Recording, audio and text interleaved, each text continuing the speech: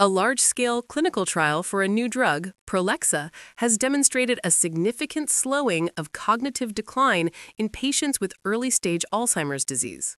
The drug targets and clears toxic protein clusters in the brain, a key hallmark of the condition. Over an 18 month period, patients receiving the treatment showed a 35% reduction in memory loss progression compared to the placebo group. While not a cure, experts hail this as the most promising therapeutic advance in decades. Regulatory approval is now being sought from health authorities in the US and Europe.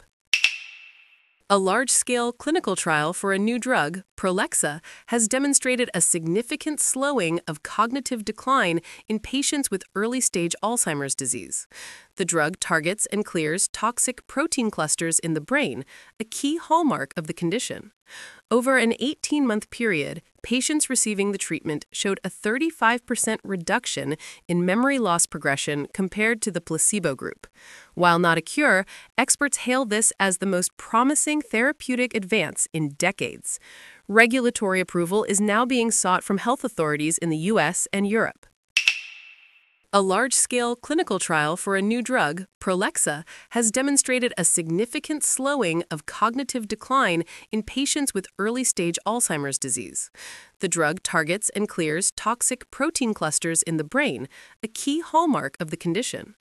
Over an 18 month period, patients receiving the treatment showed a 35% reduction in memory loss progression compared to the placebo group. While not a cure, experts hail this as the most promising therapeutic advance in decades. Regulatory approval is now being sought from health authorities in the US and Europe. A new drug has demonstrated a significant slowing of cognitive decline in patients. The drug targets and clears toxic protein clusters in the brain. Experts hail this as the most promising therapeutic advance in decades. A large scale clinical trial for a new drug, Prolexa, has demonstrated a significant slowing of cognitive decline in patients with early stage Alzheimer's disease. The drug targets and clears toxic protein clusters in the brain, a key hallmark of the condition.